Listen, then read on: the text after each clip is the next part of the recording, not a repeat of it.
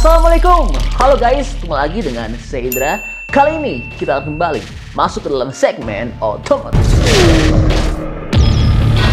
Iya, pada video sebelumnya kami telah infokan bahwa Cherry Omoda 5 EV akan segera masuk Indonesia.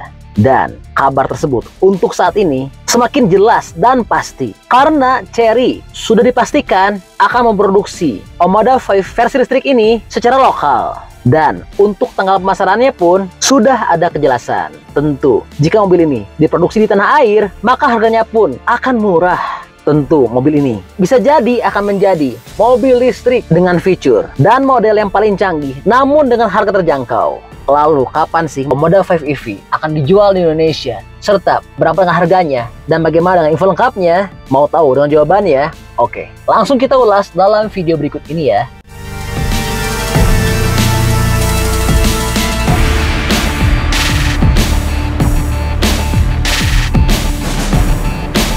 Oke, berikutnya.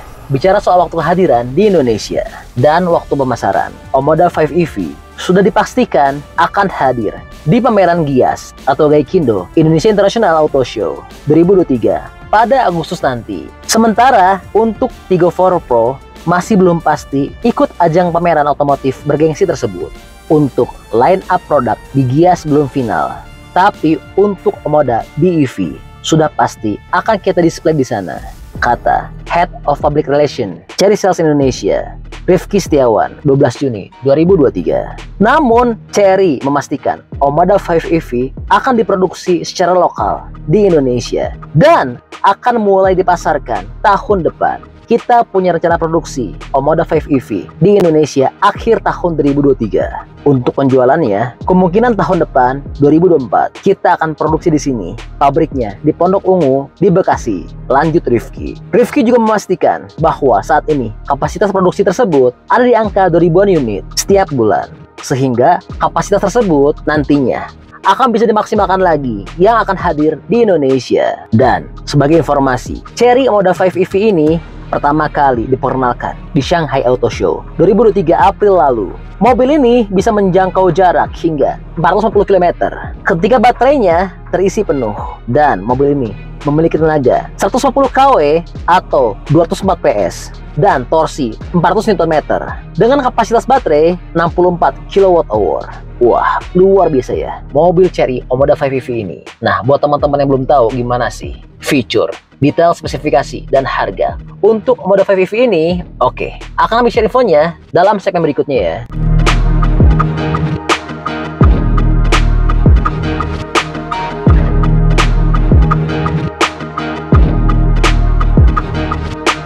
Oke, berikutnya. Bicara soal spesifikasi. Secara spesifikasi dan fitur, sepertinya Omoda 5 EV tidak akan jauh berbeda dari versi mesin konvensionalnya, kecuali tentu saja mengganti mesin berkapasitas 1500 cc turbo dengan motor listrik dan baterai untuk melajukan mobil ini. Omoda 5 EV dipersenjatai baterai berdaya 61 kW dan berdasarkan pengujian internal dengan daya tersebut jarak tempuhnya dapat mencapai 440 km.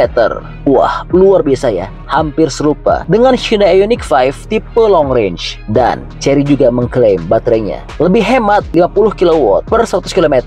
Lalu, untuk pengisian baterai dari kosong sampai 80% hanya butuh waktu 35 menit menggunakan fast charging dengan arus listrikan searah atau DC dan motor listriknya sendiri bertenaga setara 221 horsepower. Dan diklaim mobil Cherry Moda 5 EV dapat berlari dari diam ke 100 km per jam hanya butuh waktu 7,8 detik saja. Wah, luar biasa ya. Lalu, berapa dengan harganya?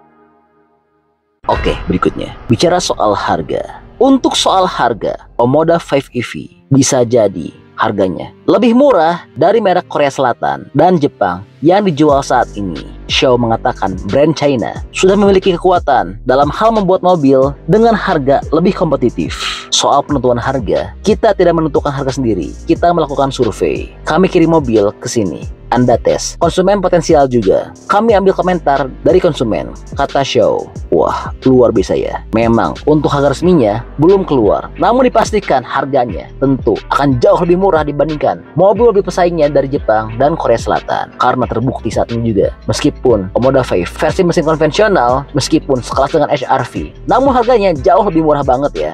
Lalu, bagaimana dengan fiturnya?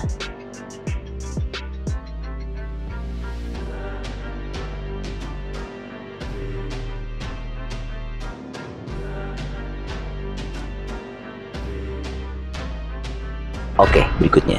Bicara soal fitur.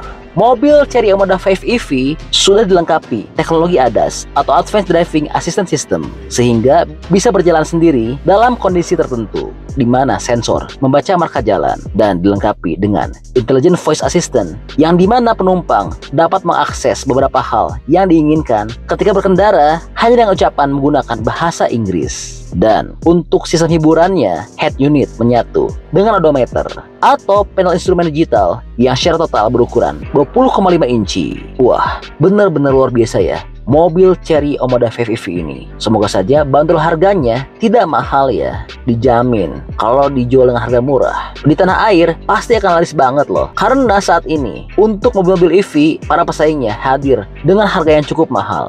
Adapun Wuling telah menjual mobil listrik dengan harga murah namun secara model, tampilan, dan fiturnya di bawah Omoda 5 ya. Nah kalau menurut teman-teman gimana nih pendapatnya? Betul dong. Berikan pendapatnya di kolom komentar ya.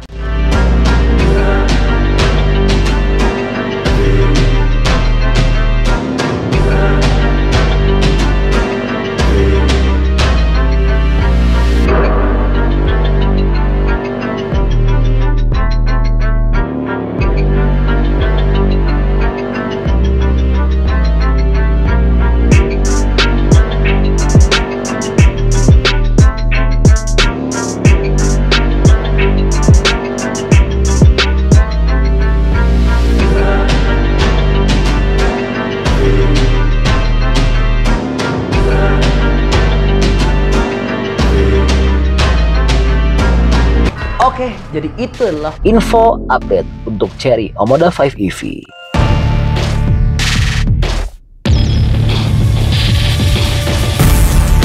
Oke, masih banyak nonton. Jangan lupa untuk bantu di like dan di share video ini. Jangan lupa juga bantu untuk subscribe ya. Oke, stay tune at my channel. See you next video.